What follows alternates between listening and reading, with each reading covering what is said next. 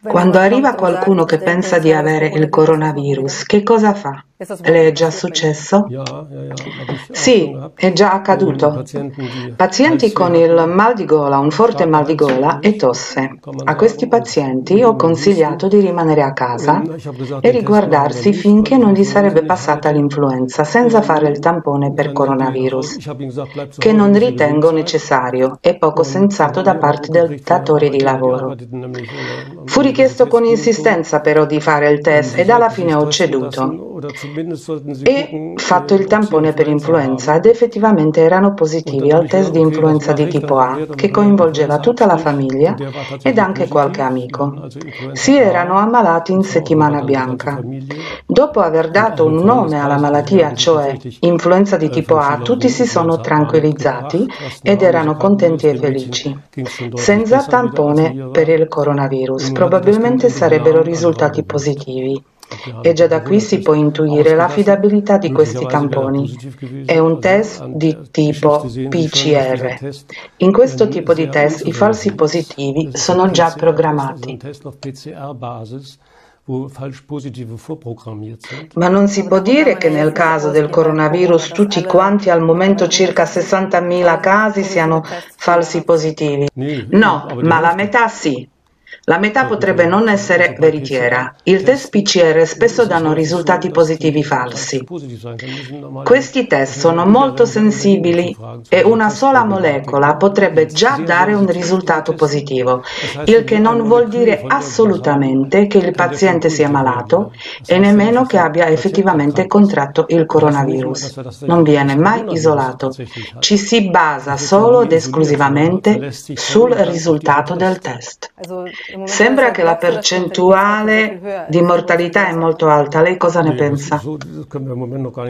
No, non possiamo proprio dire quanto sia alta questa percentuale. Si dovrebbero fare molti più test, esserci molti più malati o morti. È ancora troppo presto. Questo panico che attualmente si diffonde si basa quasi ed esclusivamente sulle informazioni che abbiamo dall'Italia e oggi come oggi non possiamo sapere quante di queste informazioni sono delle fake news. Io ho visto dei medici italiani diffondere in rete varie notizie e io personalmente ho il sospetto che molte informazioni non siano proprio corrette.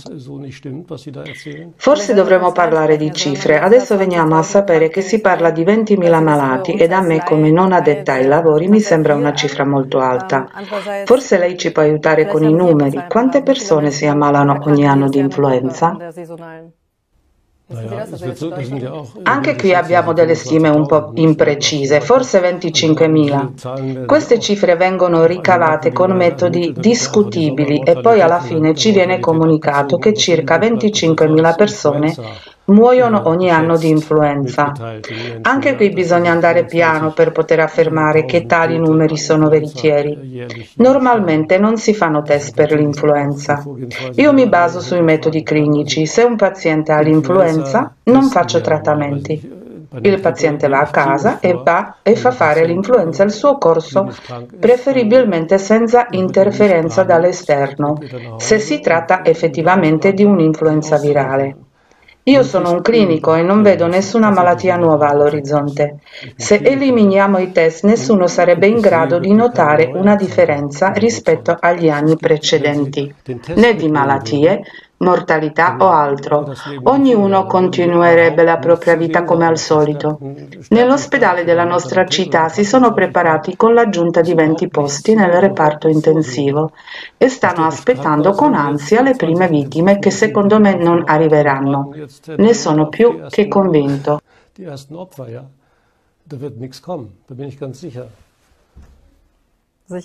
Sicuro?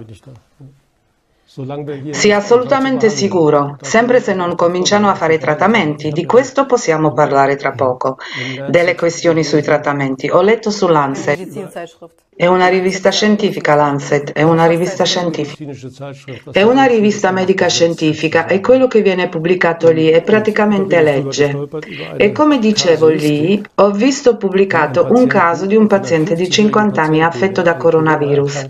Questo paziente aveva cominciato con tosse, brividi, stanchezza, fiato corto, cioè la mancanza d'aria e il trattamento prescritto erano dose massicce di cortisone, 600 mg di cortisone.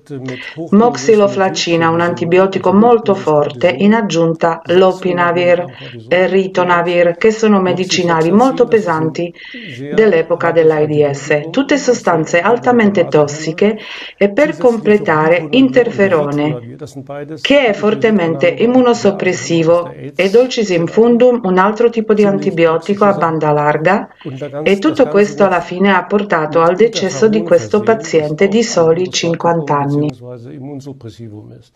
Das ist auch, hat auch immunsuppressive Effekte und dann zum Schluss noch, noch mal ein Breitbandantibiotikum darüber geschüttet. Und das führte dann dazu, dass der Patient gestorben ist. Ein 50-jähriger Patient. Allora non appartiene al gruppo di persone a rischio. Questo quindi significa che è stato il trattamento a far collassare il sistema immunitario. Dal mio punto di vista questo trattamento è stato una pratica illecita e ha ucciso il paziente. Perché allora si applica? Probabilmente per paura, siccome non riusciva a respirare, gli fu somministrato il cortisone. Dopo la somministrazione di cortisone normalmente si sta meglio perché viene frenata la risposta infiammatoria. Il cortisone uccide i linfocidi, tutto si sgonfia, ma contestualmente si impedisce la risposta immunitaria.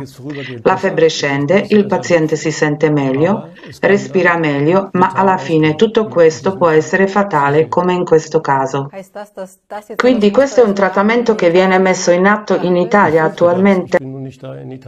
Questa è la mia paura. Naturalmente non mi trovo in Italia e non posso prendere in visione cartelle cliniche, però se un caso del genere viene citato nella rivista Lancet, ho paura che i pazienti vengano trattati, curati in questi termini e questo è il vero pericolo che incombe ora, che i medici con trattamenti di questo tipo aumentano la mortalità e quindi tutto appare molto più pericoloso rispetto alla reale pericolosità.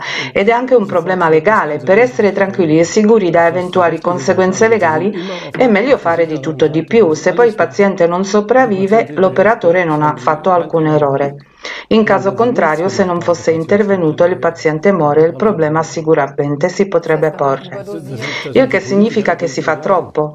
Anche i politici si trovano in questa stessa situazione e proprio per questo agiscono con interventi così esagerati. Anche loro possono perdere la loro posizione in pochissimo tempo se fanno troppo poco. Se attivano tutte le misure a loro disposizione, allora sì che hanno tutto il bene e contengono l'epidemia mai esistita con successo e nessuno può portar via loro le poltrone. Il signor Stan diventa il nuovo cancelliere. Sì.